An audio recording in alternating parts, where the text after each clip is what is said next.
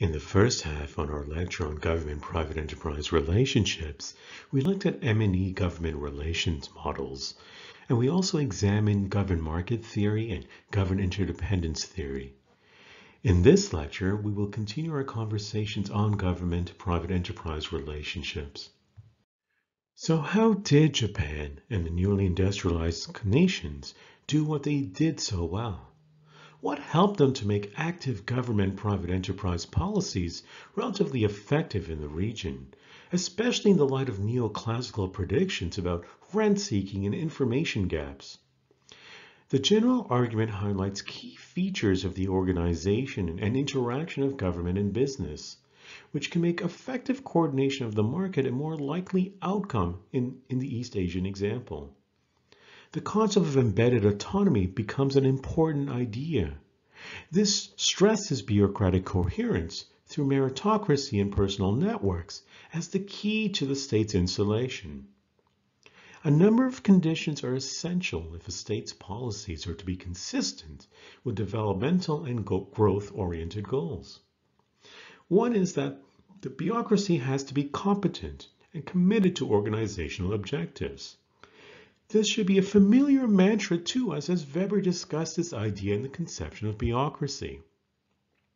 The other is that the state's key policy-making agencies must be sufficiently insulated against special interest groups and clientelistic sort of pressures generally.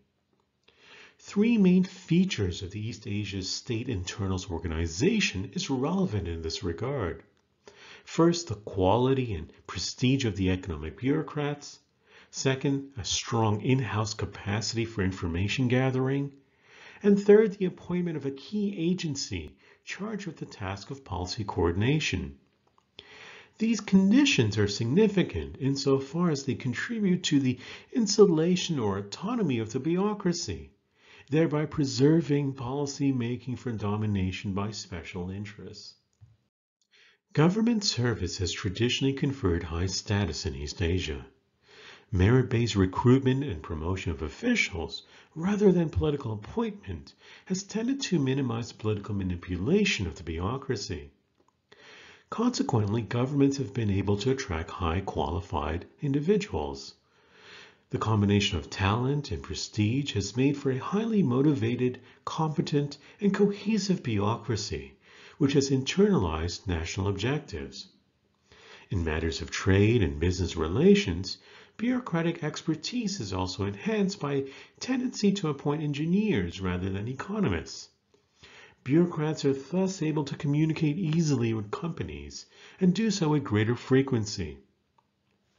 The second related feature of the core economic ministries is their powerful capacity for marshaling and analyzing economic information in-house. For instance, in Korea's key economic ministries, each maintain an efficient information network on their own. This has been to the point that the knowledge of a product demand, quality standards, and foreign market trends has been better or similar to private sectors. A key aspect of the information gathering network in Korea has been the establishment of a mandatory reporting system. This allows the bureaucracy to keep close track of priority industries throughout the high growth period. In return for significant state support, these industries were required regularly to report on their export performance and on other areas of business activity. Failure to do so would incur sanctions ranging from fines and withdrawal of, of support to bankruptcy or even prison sentences. The important point is that through this monitoring system, the state gained access to up-to-date knowledge of production conditions in priority sectors. The contrasting case is where the public sector contracts out most or a large part of its research and information requirements, as sometimes occurs in the Australian and American settings. In Australia, for instance, it appears that even the definition of national visions is something better entrusted to a commercial consultancy firm like a McKinsey. The significance of these differences can be seen in the differential impact on state capacity. Two important consequences follow from the development of an in-house information-oriented capacity. One is that it gives state agencies a formable competence in areas normally left to the private sector. The other is that it nurtures bureaucratic independence vis-a-vis sectorial interests within the business community. As is well known, none of the Anglo-American economies can boast similar attributes. From what has been said thus far, we can therefore conclude that the East Asian nations we have been exploring have an institutional advantage of, at the governmental level. In the existence of a talented, technically able, and prestigious public service, which is charged with a broad institutional mission and relatively insulated from special interests, and which has developed an impressive in-house capacity for acquiring and managing production relevant information. Particularly in new or emerging industries, government-private enterprise relationships are important. To solicit the cooperation of the producers involved, the public sector absorbs most or all of the risk, often mediating between producers and end users in the domestic market. The cases of robotics in Japan and textiles in Taiwan are instructive. In the Japanese case, what we saw here was the aim was to quicken the introduction of robots into the production process. To this end, it mediated between producers and potential end users by having a, a relationship uh, between MITI and the Japan Developmental Bank. To encourage end users, MITI, together with the Japan Developmental Bank, organize a leasing company that would enable domestic firms to lease robots under short-term arrangements and to return them without expense to satisfy with their performance. Since the significantly minimized investment risk, firms were increasingly willing to employ robots. And since this in turn effectively guaranteed a rapid expanding market for the producers of robots, the result was a socialization of risk and the establishment of a new industry. The establishment of a textile industry in Taiwan followed a similar process in the early 1950s, providing state-guaranteed markets in order to encourage the spinning and weaving of yarn rather than the importing of finished cloth. In both cases, the core process is government initiated, but the success of the strategy depends on, a mutually beneficial exchange between government and private enterprise.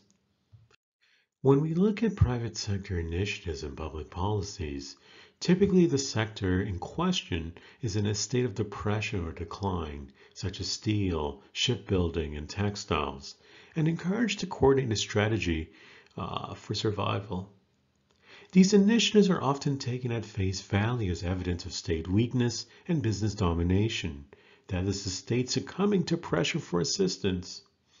Such an assumption, however, misses the point that, generally speaking, such initiatives are, are either directly or indirectly solicited by the state and are ultimately dependent upon the extent to which they meet publicly defined criteria. Frequently, the initiatives in question may be privately coordinated, as in cartels for regulating production or promoting export, a prominent feature of all the East Asian economies throughout their fast-growing period. Nowadays, such initiatives tend to be prominent in sectors which are troubled or, or in decline or in need of restructuring. Whichever the case, the overall context is defined by the publicly sanctioned expectation that the sector should internally coordinate a strategy for the future, and it should link that strategy with the larger goals of public policy. In such cases, government has authorized industry to come up with its own plan for survival. The case of the textile industry in Taiwan typifies this relationship.